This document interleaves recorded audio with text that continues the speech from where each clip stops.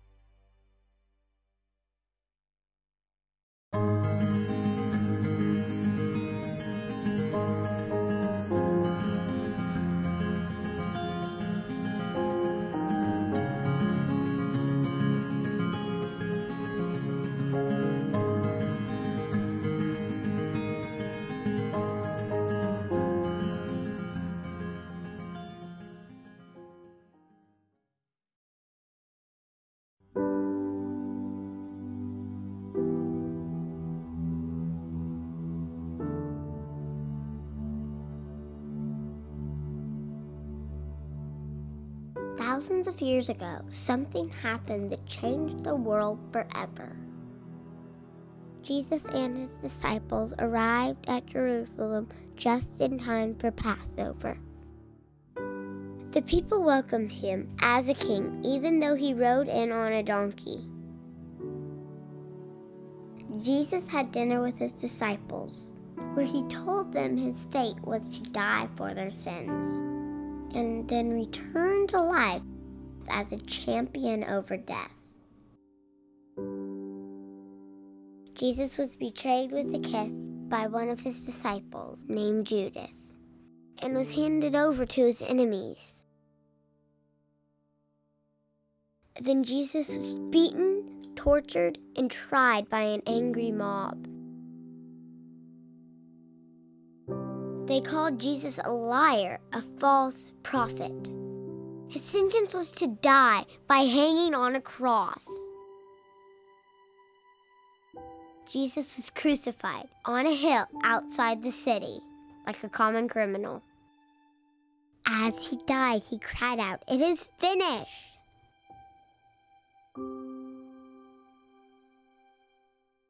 Three days later, two of Jesus' followers went to visit the tomb where he was buried. An angel appeared and rolled away the stone. The tomb was empty. The angel told them that Jesus was no longer there. He was risen from the dead. Heaven rejoiced, and Jesus' friends shouted out for joy. Death has been defeated. Jesus lives. And when the time came for Jesus to ascend to heaven, he told the disciples to go and be his witnesses in all the earth of his death and resurrection, that through him all could have eternal life.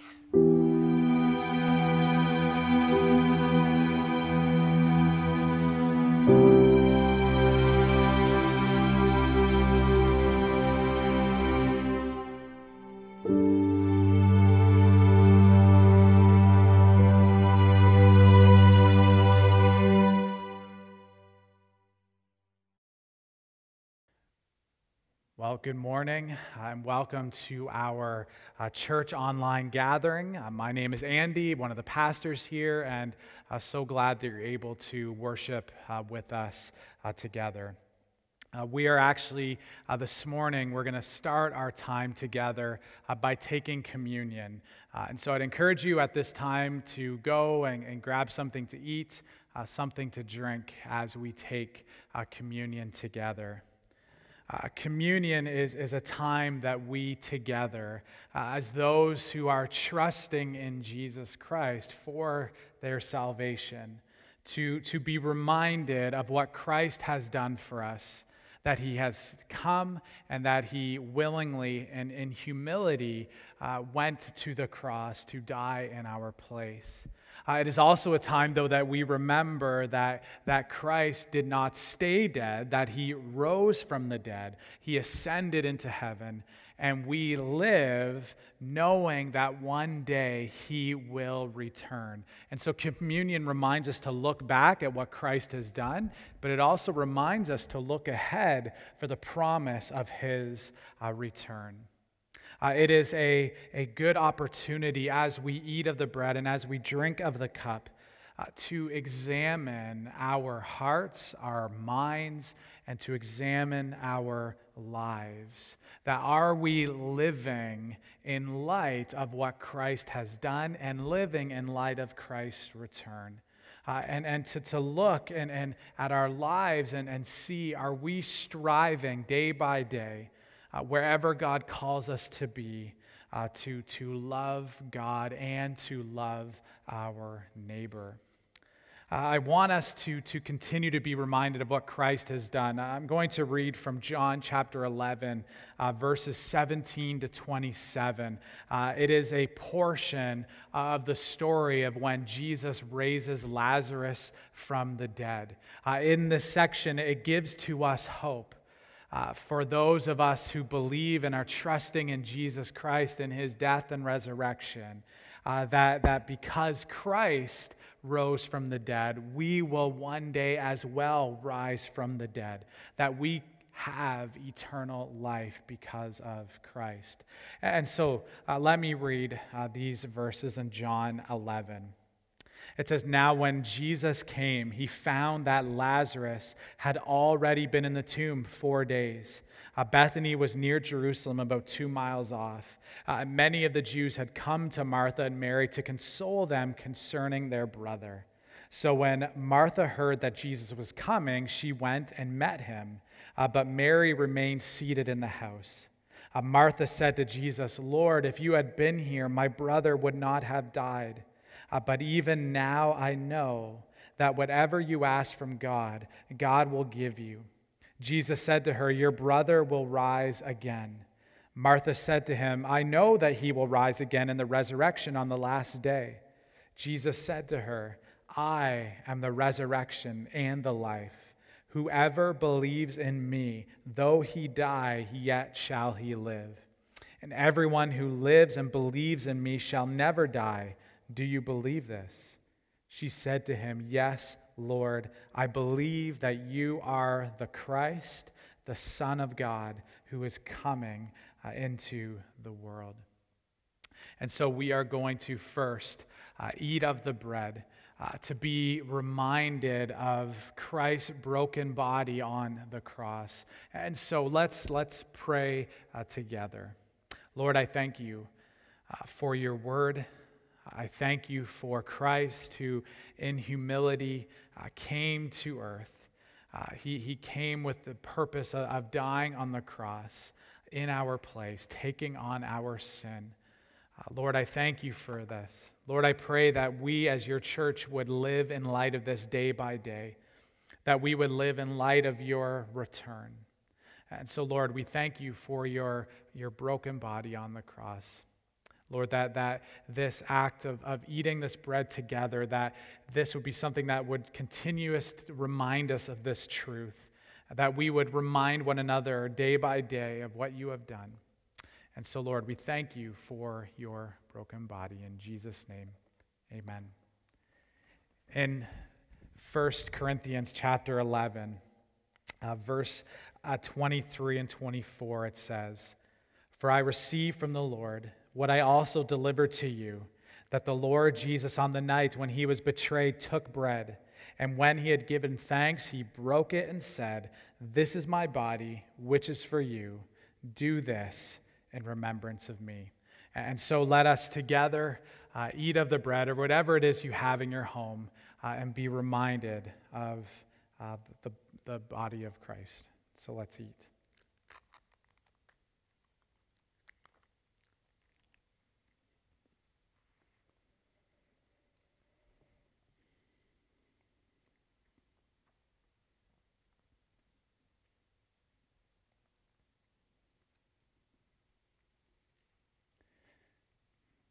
We are now going to have uh, the, uh, the time where we take and drink of the cup to be, to be reminded of Christ's shed blood. And so let's pray. Lord, I thank you uh, for, again, what Christ has done. Uh, thank you that he died in our place. Uh, Lord, we, we thank you for the many truths we find in the book of Hebrews of how Christ died once for all. Uh, and so, Lord, we thank you. Lord, I, do, I pray for our service uh, that as we continue to gather, as we continue to worship as a church family, uh, that we would do so for your glory and honor.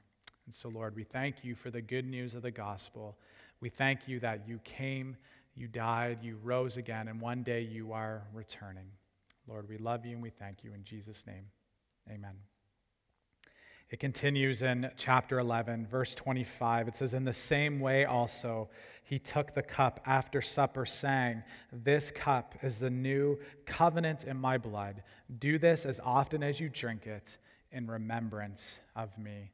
And so let us drink uh, of the cup uh, together.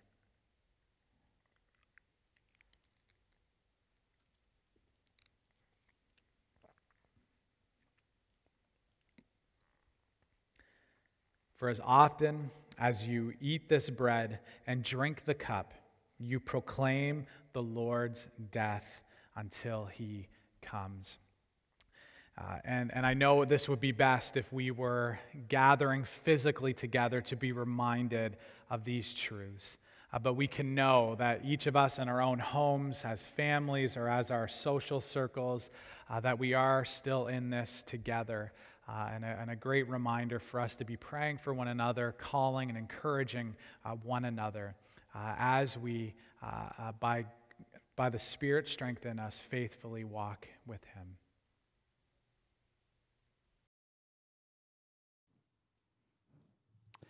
Good morning. I invite you to join us as we worship this morning.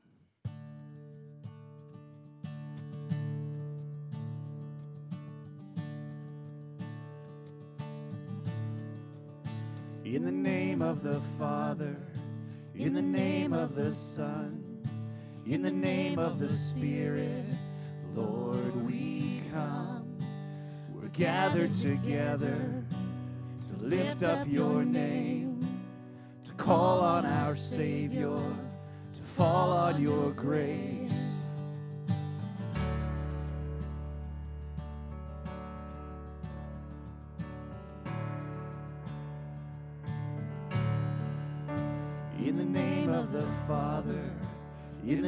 Of the Son, in the name of the Spirit, Lord, we come. We're gathered together to lift up your name, to call on our Savior, to fall on your grace. Hear the joyful sound of our offering as your saints bow down, as your people sing. With you, lifted on your wings, and the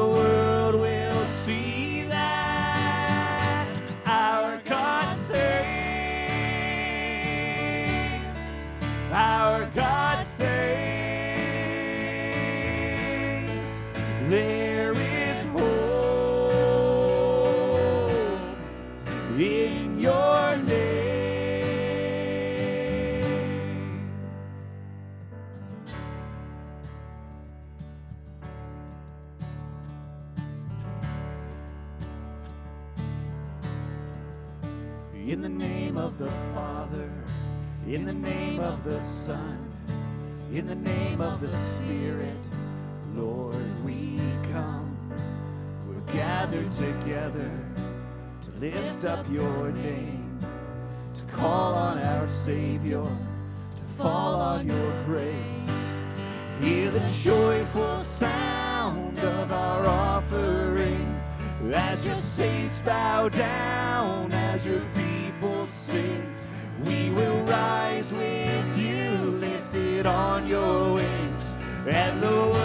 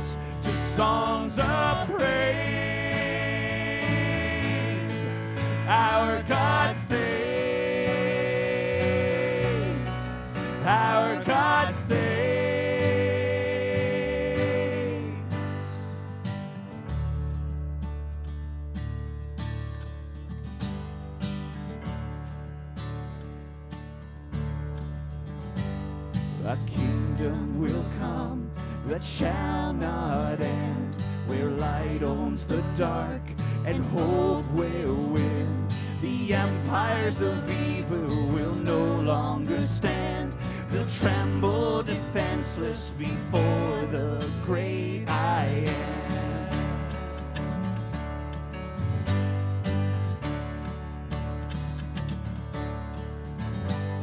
The king is alive, he's on the move.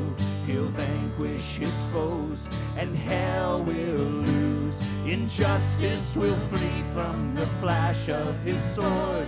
There'll be no more question that Jesus Christ is Lord.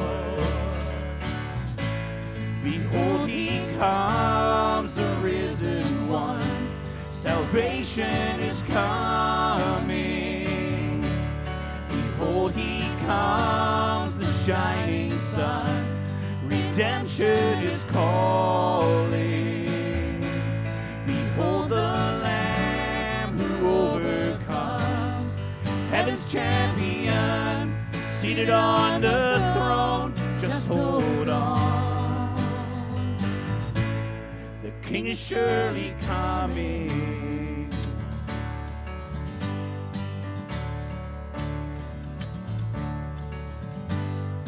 Great day shall come, our jubilee. Confetti will soar on golden streets. Our pain just a memory, our tears wiped away. Standing in glory, at last we'll see his face. Behold, he comes, the risen one. Salvation is coming. Behold, he comes, the shining sun. Redemption is calling. Behold, the Lamb who overcomes. Heaven's champion, seated on the throne. Just hold on. The King is surely coming.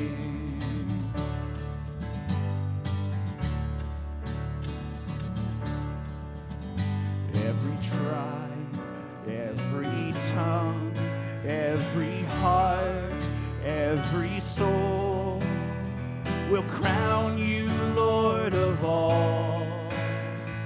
Crown you Lord of all. Every knee bows before, angels sing, saints adore, and they crown you Lord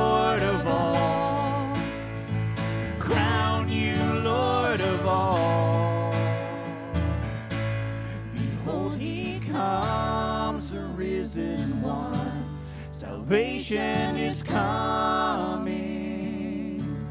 Behold, he comes, the shining sun. Redemption is calling. Behold, he comes, the risen one. Salvation is coming. Behold, he comes, the shining sun. Redemption is calling. Behold, the Lamb who overcomes. Heaven's champion, seated on the throne. Just hold on. The King is surely coming.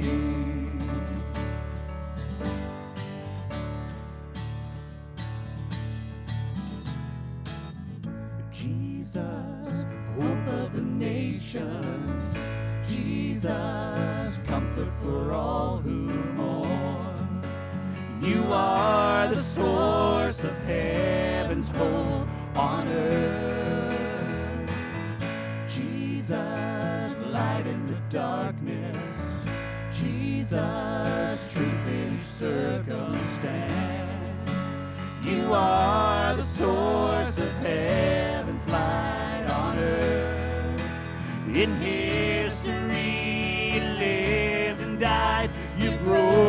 chains, you rose to life.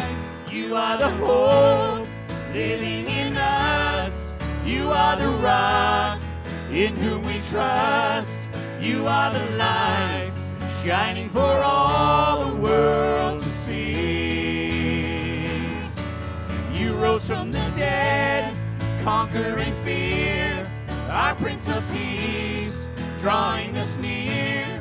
Jesus, our hope, living for all who will receive. Lord, we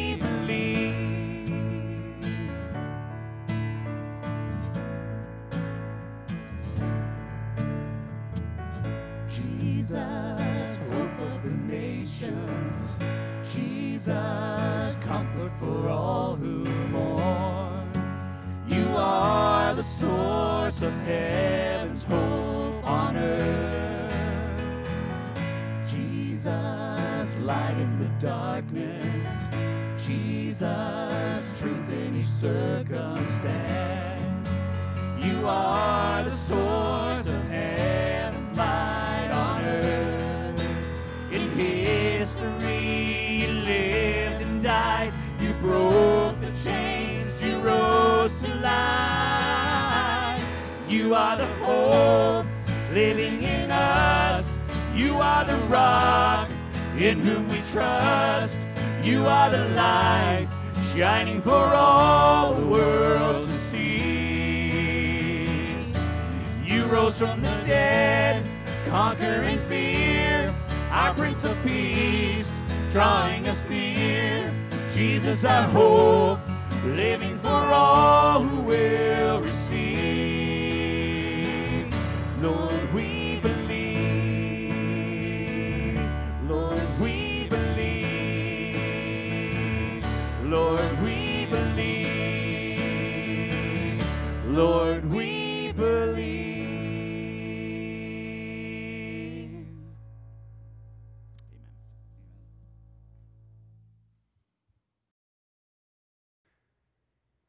Thank you to Andy for leading us in those songs and to Pastor Andy for leading us in communion earlier.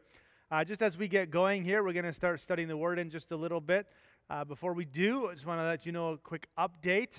Uh, we are going to be changing our uh, start time of our services, uh, moving our service start time not just for church in person, but for church online as well, from 10:30 a.m. to 10 a.m. And that's going to be starting in September. For the, so for the next two weeks, we'll still start church online at 10:30 a.m. But then on September the 6th, we'll have church online and church in person at 10 a.m. instead. And there's a number of reasons for that. Uh, number one is uh, some of our younger families have asked for this and have said it works a lot better for them. And then in talking to some of our more seasoned folk, uh, they had mentioned as well that they also would prefer that time. So we are shifting it for those reasons. We're also, Lord willing, on September the 6th, we're going to start live streaming our services. So we want church in person and church online to be at the same time. Uh, we have internet at the church that's not very good, but uh, I'm very thankful for John Wyant, who has uh, hopefully figured out a solution for this. And so, starting on September the 6th, we will be, as opposed to recording the services like we are right now, pre recording them, uh, we're going to be live streaming them. And so, at the same time as us meeting here, you can watch it live from home and participate that way. So I want to let you know, starting on September the 6th, Church Online, what you're watching right now, is going to move from 10:30 a.m. to 10 a.m. There'll be a countdown at 9:45 a.m. instead. And so just wanted to make you aware of that, and we'll mention that again to remind you over the next couple of weeks as well. So we're studying uh, 1 John in our, in our series called Let There Be Joy. And we're looking at today 1 John 2 28 to chapter 3, verse 10. And so I encourage you to go get your Bibles if you don't have them already and open them to 1 John chapter 2. There's a, a proverb that I'm sure that you've heard before. In fact, I'm almost positive you've heard it before. Like father, like son. And it's a, it's a proverb or a phrase that's used when a son shows similarities to his father, whether in skill or in behavior or in interests or in kind of mannerisms. Uh, look at that boy lose his temper on the ice. I know his father, like father, like son. Gets used like that. Uh, and then the feminine equivalent, like mother, like daughter, uh, is used in the same way. In fact, that, that phrase comes out of the Bible in Ezekiel 16 44. says flat out there, like mother, like daughter. And it's this idea that a child resembles their father or their mother. And, and it makes sense when you think about that. Uh, children watch their parents, they emulate them, they want to copy them. They, especially when they're younger, they want to do what their parents do. They imitate them, the good and the bad. Sometimes you hear a, a child say something and you think, well, where did you hear that from? Like, well, I heard it from you. I'm sure there's no one watching today that's ever said a bad word and had their kids repeat that. But that kind of idea can happen. Children hear things and repeat things, they, they emulate their parents. I remember when my oldest daughter was helping us care for foster babies when we first started fostering. And uh, she was at the age now where she could hold babies on her own. And she would hold the baby just like Yvonne would hold the baby. And she would talk to the baby just like Yvonne, my wife, would talk to the baby. She learned from Yvonne. And so she did things just like Yvonne did them. A child bears the marks of their parents. And John is going to use that idea here to say the marks of a child of God, the, the marks or uh, the marks of a person or how they live show who their father is.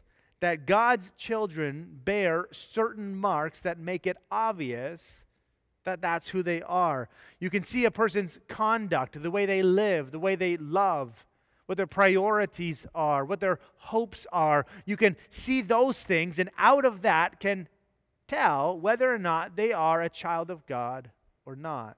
Is what John is saying here. In fact, for John, he is so blunt here. It almost took me back as I was studying this week how blunt and black and white John is. He says, essentially, you are either a child of God or you are a child of the devil. You can't be both.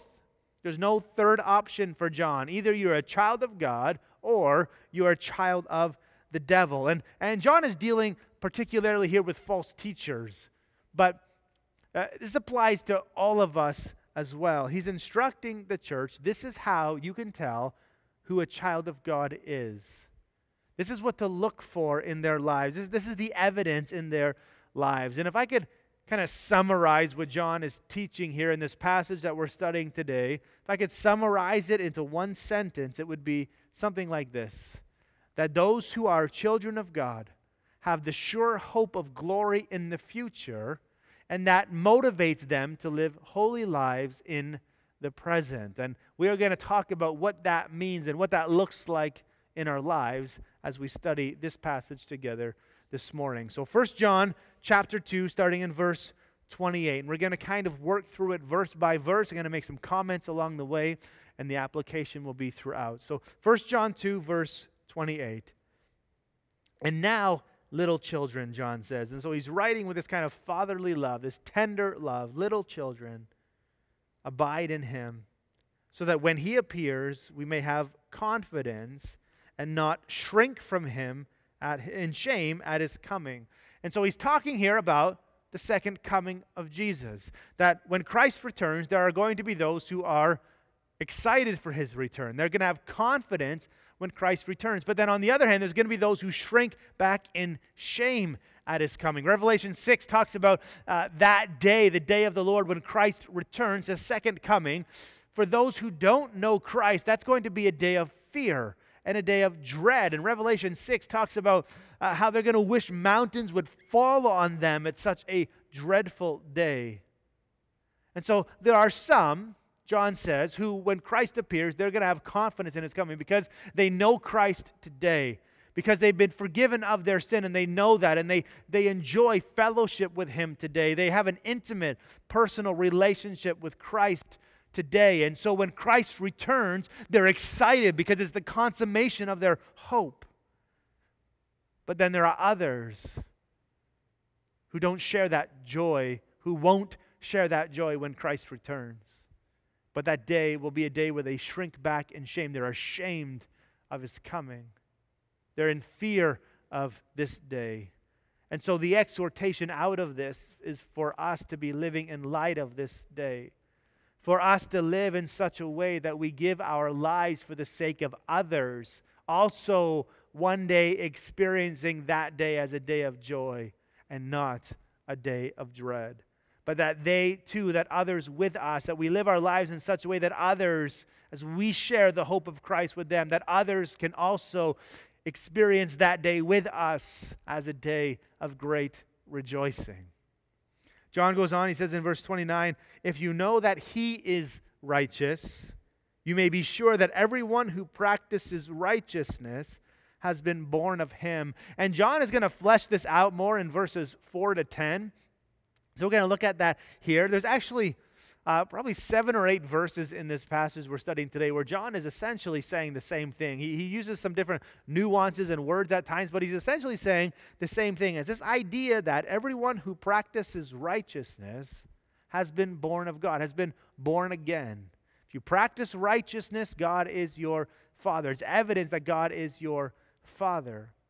You can know if God is someone's father. You can know if someone's born again, John says, by whether or not they practice righteousness. A heart that is made righteous by faith is going to lead to a life of righteousness, a life of holiness. Then in chapter 3 and verse 1, out of that section, John moves into this verse, which is a great verse. He says this See what kind of love the Father has given to us, that we should be called children of God. And so we are. The reason why the world does not know us is that it did not know him. He says, See what kind of love. That word see, maybe your translation says behold. That word carries with it the idea of be astonished at it. It's astonishment. Be in awe of this. Meditate on how amazing this is. See the way in which God loves us. See the kind of love the Father has given to us that we can be called children of God. And not just called children of God, but that is who we are, John says. And he says, Be astonished at that truth. See the sort of love or the, the quality of love that God has loved us with. That He would send His Son to die for us. That He would send His Son that our sins could be forgiven. That He would send His Son that we can be adopted into His family and enjoy the rights and the privileges as sons of God. That we can boldly approach Him like we do with our earthly fathers. At any time, in the middle of the night, it doesn't matter. We can approach Him in our time of need. And we can know Him intimately and personally in relationship with Him. There's a story that comes out of the American Civil War, and it's of a young soldier who's fighting for the Union Army, and his brother and his father ha- had died while he was away fighting. He needed to return to his family home to help his sister and his elderly mother with the spring planting on their farm. And so he went to Washington to ask the president for an exemption from military service. When he arrived at the White House, he walked up to the front doors, but the guards at the door turned him away. They said, The president is far too busy to talk to you right now. Go back to fighting. That's where you're supposed to be. And so he had to leave, and he left the White House dejected. And he went, didn't know how he was going to break the news to his family. So he went and he sat on a nearby park bench and began to weep. And as he began to weep, a, a young boy came up to him and said, Sir, what's, what's wrong? And this soldier looked at the boy and he began to pour out his heart to this boy. He told the boy that since his father and, and his brother had died, that he was the only man left at the farm. And he was desperately needed back there by his, by his family. But the only one who could make that possible was the president himself. And the little boy just looked at him and said, Come with me.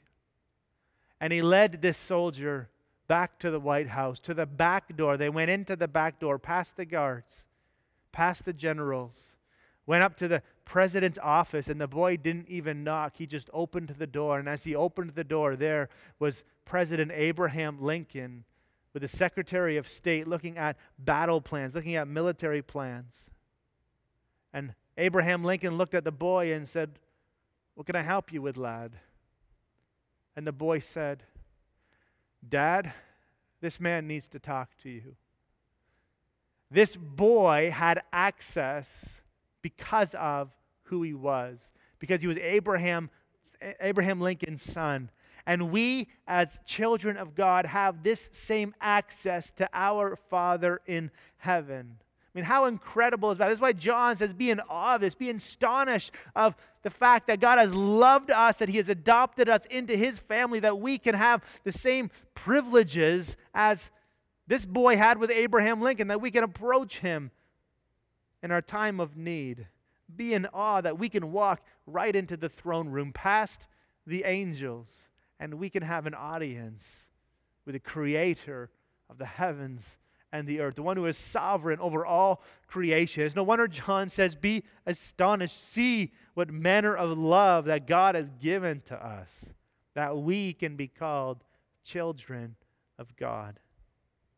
And he goes on and he says, Don't be surprised when the world doesn't understand. The world is not going to understand. The world is not going to understand why you have the priorities that you have. The world is not going to understand why you give so much money away. They're just simply not going to understand that because they don't know him, John says. And there's actually a bit of a, a warning here for us that approval by the world is not, uh, uh, approval by the world is actually something to be feared, not something to be desired. Jesus said, The world hated me, they're going to hate you also. Approval of the world is not something that we should be desiring as children of God because they're never going to understand. We don't live for the world's approval, we live for the approval of one. We live for the sake of one, and that is our Father in heaven and making much of his Son, Jesus Christ. This is what we live for. Then John writes in verse 2, he goes on, he says, Beloved, we are God's children now and what will be has not yet appeared. But we know that when he appears, we shall be like him because we shall see him as he is. And so, John, in these few verses, has touched on some of the big theological concepts of salvation. Just doesn't use the words.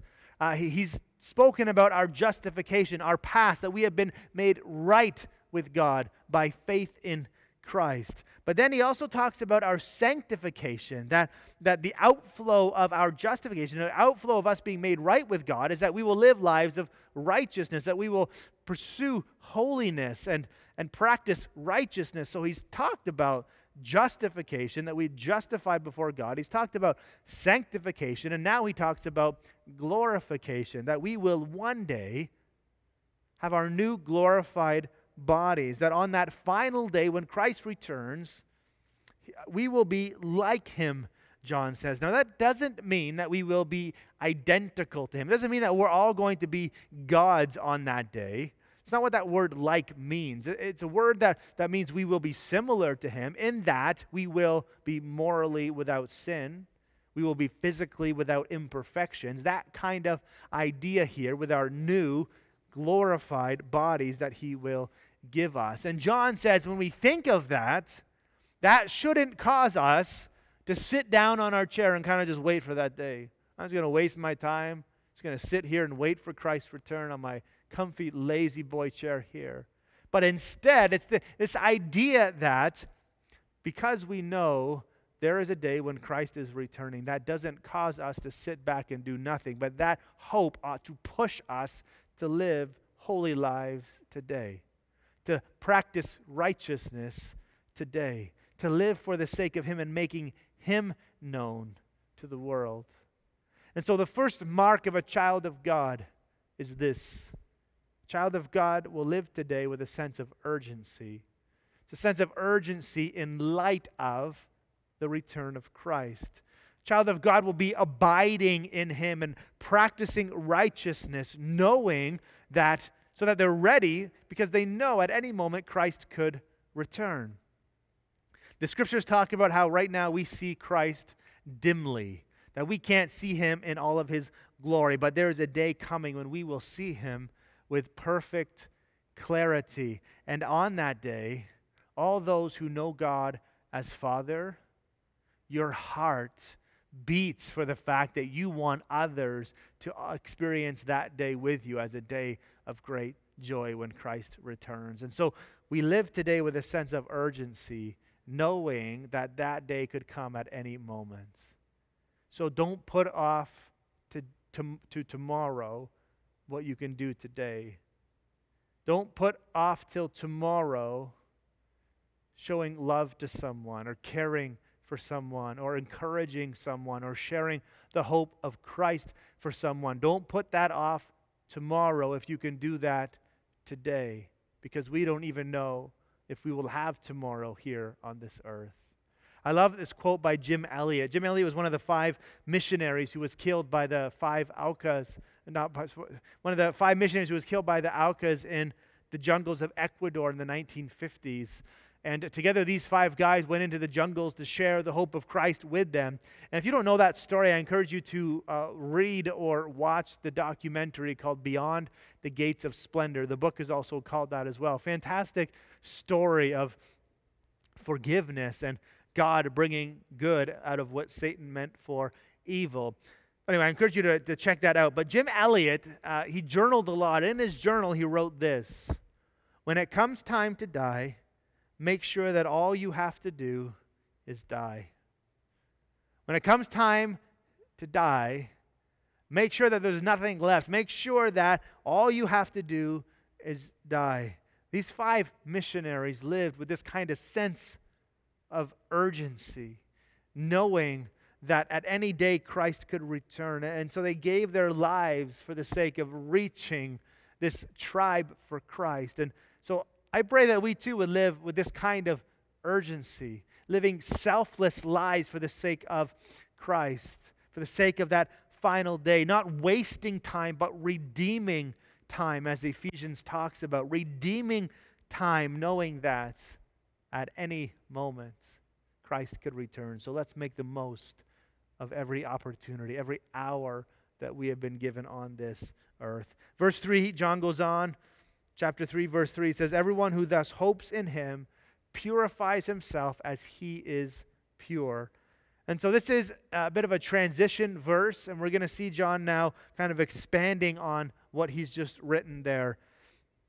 Verse 4, he says, Everyone who makes a practice of sinning also practices lawlessness. Sin is lawlessness. So, what is lawlessness? Lawlessness is sin, but lawlessness is a total disregard for God's law. It's like you look at God's law, you look at God's word, and how He calls us to live, and you're like, I don't give a rip about that. It's a total disregard for how God has called us to live. Everyone who makes it a practice of sinning, that's what they're like, John says.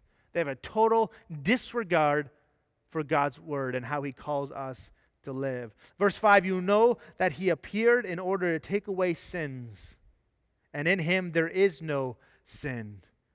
So, why did Jesus come? So now John has gone from his second coming, the Christ's second coming, to his first coming and says, Why did he come in the first place? He came to take away sins, that he who was without sin became sin for us to take away our sins. He, he came that our sins could be forgiven, but not only that they could be forgiven, but that so that we could be free from the power and the bondage of our sin. That sin will no longer have dominion over us. This is why Christ came, John says. And that's why in verse 6, no one who abides in him then keeps on sinning.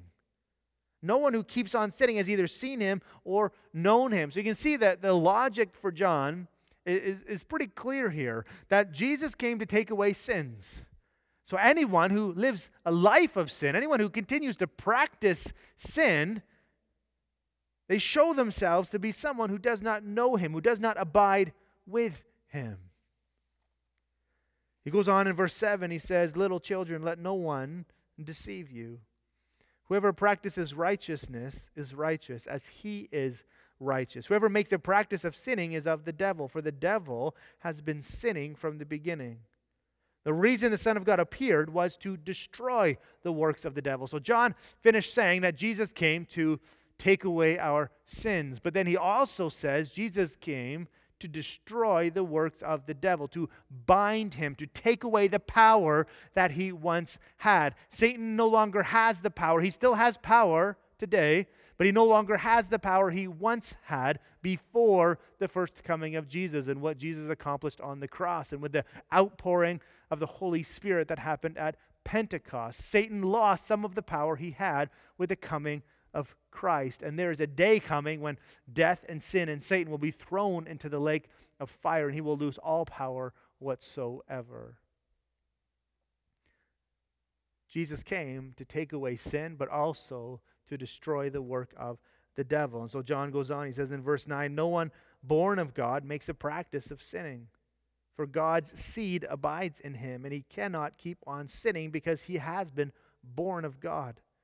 By this it is evident who are the children of God and who are the children of the devil. Whoever does not practice righteousness is not of God, nor is the one who does not love his brother. So, John writes, a child of God, John, is, is sharing with us here, a child of God is marked by a lifestyle of righteousness, one who practices righteousness, one who pursues a life of holiness. Our fruit reveals our roots. Our lifestyle reveals our family identity. A continual lack of purity gives evidence that you are not God's child, that you don't know God.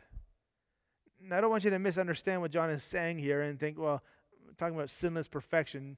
John is not talking here about being perfect, about never sinning ever. Every Christian sins. Every Christian is going to continue to struggle with sin in their time on this earth. But no Christian will deliberately and repeatedly defy God's word and continue to practice sin, unrepentant sin, deliberate sin. No genuine believer is going to live like that. If Christ was sinless and he came to remove sin, how can you abide in him but at the same time abide in ongoing, ongoing, uh, unrepentant, habitual sin? It's just simply not possible, John says. When a person sins habitually, it gives evidence to the fact that they haven't been regenerated, that their heart hasn't been changed by the Holy Spirit. And as I say that, maybe a question comes up in your mind well, what is habitual sin? When, when does sin become habitual? Because we all struggle with sin. So, when does sin then become habitual? And that's a question that John doesn't even try to answer here, but it's like he leaves it up to us. He, he, seems, he seems to be, what he seems to be doing here is leaving it up to us to be on guard, to guard against that from ever becoming a question in our lives. That we don't try to get as close to the edge as we possibly can. See, what happens sometimes is we, we ask questions like, well, how close to the edge can I get and not actually sin? So, how far can I go to that line of sin without actually crossing it? When what John is really encouraging us to do is don't ask that question, but instead ask yourself, how can I pursue being like Christ? How can I get as close to Christ and becoming like Him as possible? So, it's not how close to the edge I can get, but how much like Christ can I be? How close can I get to Him? How can I run to Him and away from that edge? And there's a strong warning here for the church that John is giving. And he's saying this do not be deceived. Don't be deceived. You are, sorry, don't be deceived. You do what you are. You do what you are. Dogs bark and birds fly. If you see a, an animal that's flying, you know it's not a dog. Unless you're watching Paw Patrol at home, then, then it might be a dog. But if you see an animal flying, you know it's not a dog. If you see an animal that's barking, you know it's not a bird. Dogs bark, birds fly. You do what you are. A child of God doesn't live in habitual, ongoing, unrepentant, deliberate sin. A child of God lives a lifestyle of righteousness, pursuing Christ likeness, pursuing holiness. In one of Charles Spurgeon's sermons, he says this He says, The test of a man's real character must be what he does, not what he professes, not what he boasts of, but what is really the manner of his life. In other words, what he's illustrating there with that quote is you do what you are. The test of whether or not someone is the real deal, examine the manner of their life, Spurgeon says. And that's what John is saying here. By the way a person lives, John is saying, by the way a, a person lives, you can tell who their father is. By their lifestyle, you can tell who their father is. If you wanted to do a, a spiritual paternity test on someone, you take a swab, what kind of swab would you take to determine who their father is? You wouldn't take a swab of their words, you'd take a swab of their lifestyle. And out of that swab, you can clearly see who their father is.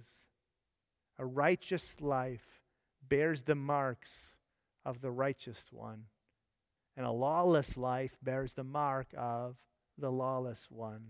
So, why does a child of the devil continue to practice sin? Like father, like son. You think in terms of agriculture, fruit trees bear fruit after their own kind. And on top of that, Jesus said, good, free, good trees don't produce bad fruits, and bad trees don't produce good fruits. And with all those analogies, it's the same for us. The only way, and the only way to reverse the curse is to be born again, to have a heart that's been made new, to confess with your mouth that Jesus is Lord and believe in your heart that God raised him from the dead, then you will be saved. Your heart will be made new. Your desires, your passions, your priorities will begin to, to become more and more like Christ. The Spirit of God will work in your life to conform you into becoming more and more like Jesus. It's not going to happen overnight. It very rarely happens overnight, but there is this progression towards becoming more and more like Jesus for someone who has been born again. For John, as I mentioned earlier, he is so black and white. In verse 10, about as black and white as you can get. By this is it is evident who are the children of God and who are the children of the devil. Whoever does not practice righteousness is not of God, nor is the one who does not love his brother. So whoever does not practice righteousness, they're not of God. It's clear from that. But then he also says, whoever does not love his brother, it's also clear from that that they don't know God. That's evidence that they are not a child of God if they don't love their brothers and sisters. So that song that we, we used to sing, that they will know we are Christians by our love. That's, the, that's what John is illustrating here. That they will know that we are Christians by the way in which we love one another. From homework for today, I, I want to encourage you to read 1 Corinthians 13, verses 4 to 6 in particular.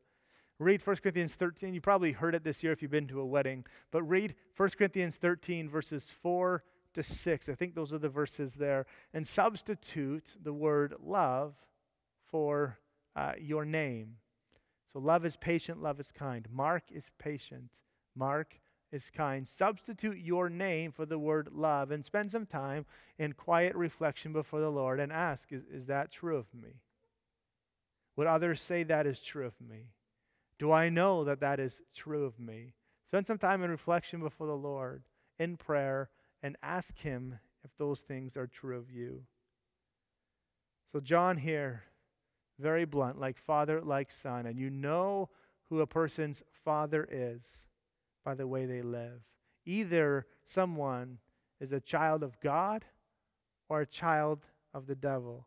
The marks of a child of a devil, of the devil, is that they will be habitually living in sin, unrepentant, deliberate lawlessness, a total disregard for God's law. But the marks of a child of God is one who lives habitually holy lives, who pursues Christ likeness, lives a lifestyle of righteousness, pursues holiness and becoming more and more like Jesus, and does so with a sense of urgency making the, the love and the hope of Christ known to others, knowing that there is a day coming soon when Christ will return and make all things new. He could return any day now, and so let's live a sense of urgency for that day. I encourage you to pray this prayer today. I came across this prayer as I was preparing for this week, and I thought it was a great one. I encourage you to be praying this prayer Lord, while you prepare a place for us, prepare us for that place. Lord, while you prepare a place for us in heaven, prepare us now for that place. May we live lives today that reflect who our Father is. May, may we live today with a lifestyle of righteousness, sharing the hope of Christ with one another and loving one another with the love that God loves us, knowing that at any day Christ could return. And sin and death on that day will be thrown into the lake of fire. Satan will be thrown into the lake of fire, and we will dwell with him in the new heavens and the new earth for all eternity. This is why we sing that song, Oh, what a glorious day that will be. What a day that will be when my Jesus I shall see. When I look upon his face, the one who saved me by his grace. And he takes me by the hand and leads me through the promised land. What a day. What a glorious day that will be. And every child of God said, Amen. Amen. Let's pray. Father, we are grateful as we come to your word each and every day for the ways in which your word challenges us and convicts us and speaks into our lives. And I pray that if there's anyone who has been joining with us this morning who does not know you as Father, I pray that your Spirit would work in their life right now. Convict them of their sin and draw them to yourself. May you wrap your loving arms around them. May they know your love in a way they've never known it before. And we pray for us as a church that we would be uh, living our lives pursuing holiness, being set apart, pursuing Christ likeness, and wanting to be like Him in every way we can. So, Father, I pray that your Spirit would work in our hearts and do that.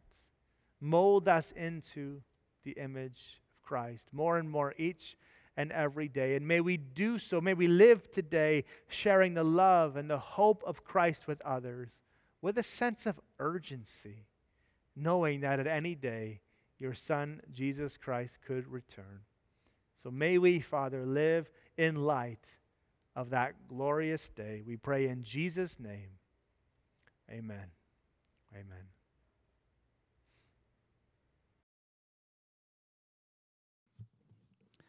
I invite you to join us as we close our service this morning.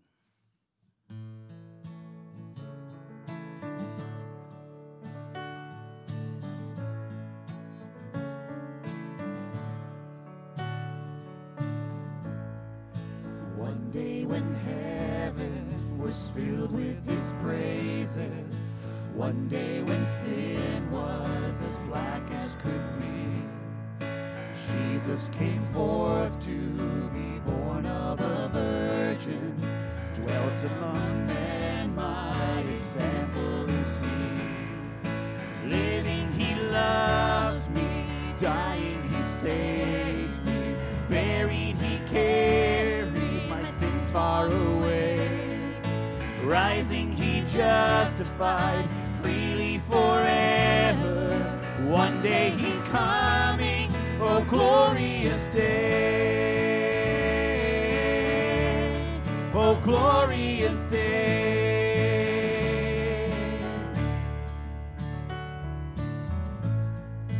One day they led him up Calvary's mountain. One day they nailed him to die on the tree. Suffering anguish, despised and rejected. Bearing our sins, my Redeemer is he. One day the grave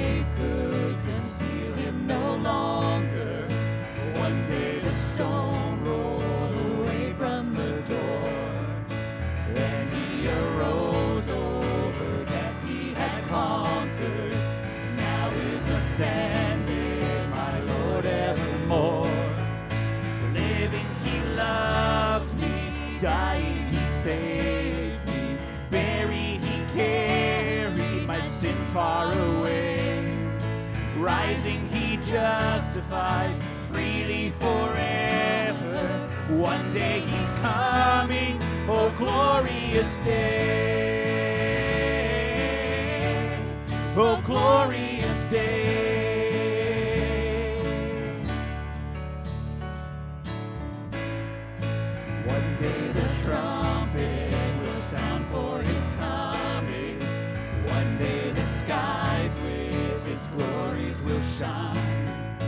Wonderful day, my beloved ones bringing. Glorious Savior, this Jesus is mine. Living, he loved me. Dying, he saved me. Buried, he carried my sins far away. Rising, he justified freely forever. One day he's coming, oh glorious day. Oh glorious day.